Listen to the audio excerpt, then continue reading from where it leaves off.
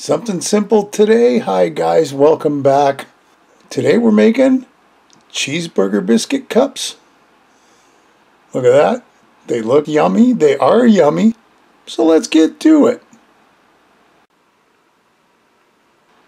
Let's get out our ingredients. First up, pound of ground beef, lean ground beef. Secondly is cheese. We're supposed to use Velveeta, but I had some cheese slices I wanted to use up. Can of biscuits out of the fridge, some Worcestershire, ketchup, mustard, some brown sugar.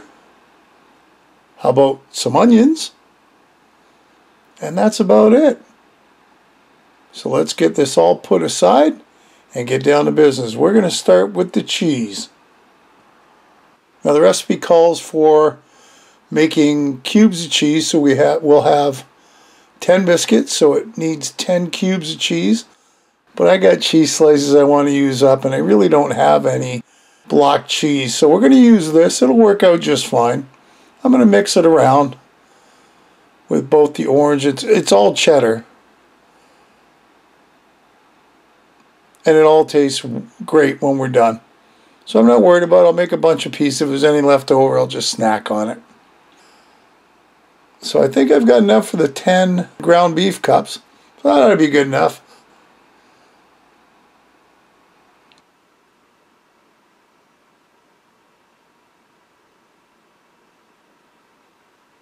Let's get the cheese out of the way. Into our frying pan is going to go our pound of ground beef because of course we want it cooked. I suppose because it's going in the oven, you might be okay, but I really don't want raw burger. So let's get it cooked up. A little bit of pepper, salt if you want it.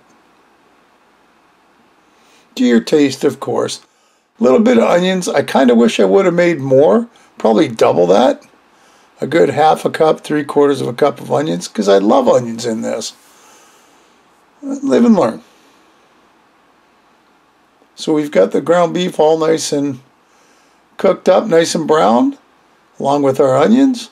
So to that, this is one teaspoon of Worcestershire. And along with that goes our brown sugar. Listen, it was sweet, so if you don't like sweet, you can skip that completely. I actually thought about throwing in some cream mushroom soup. I think that would have worked better. Now we also need teaspoon of mustard. Okay. The problem is when you actually measure, you get it stuck on the spoon and, you know, it's hard to get off. So did the best I could. So I decided not to measure the ketchup. And we just squoze it out of the bottle. And of course the problem with the ketchup is we're at the end of the bottle.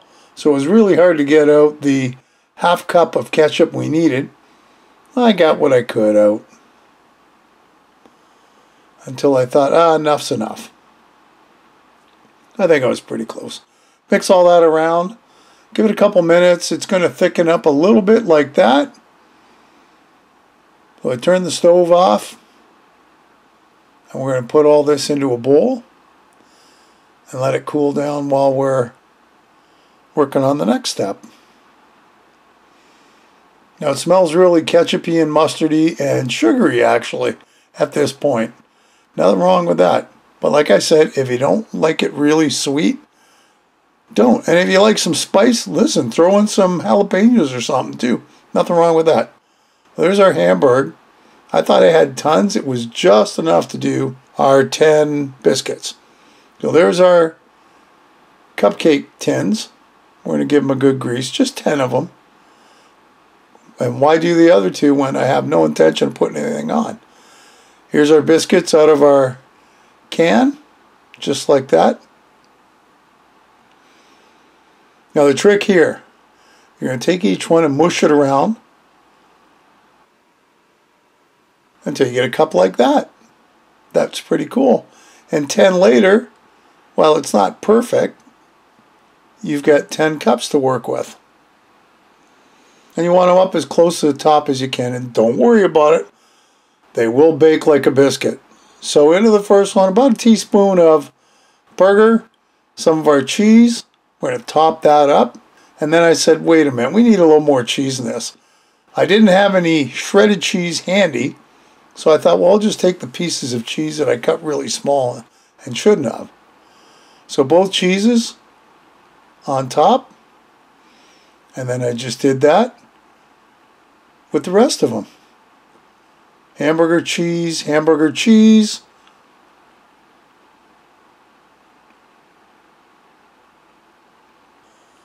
Looks good. Let's get this into the oven. 400 degrees for 12 to 14 minutes. When they come out, check that out. Now they smell as good as they look, and they do look good. Now watch this. We're going to set it aside. Bring out our plate, and then I got to get a fork to pull them out. And watch this. Look at how golden brown those are on the outside. They are B-E-A-U-D full. I think I'm going to do three. I'm not super hungry, but I'm hungry enough. Look at that. And there you have it. Cheeseburger biscuit cups. A winner in my book, and I hope you give them a try. Hey, another great recipe. I hope you'll give it a try. Leave me a comment below, one way or the other. Listen, if you haven't subscribed, hit the subscribe button and hit the bell because that'll tell you the next time I upload a video. Feel free to share this in any of my other videos. And thanks for stopping by and watching. We'll see you next time. Bye-bye.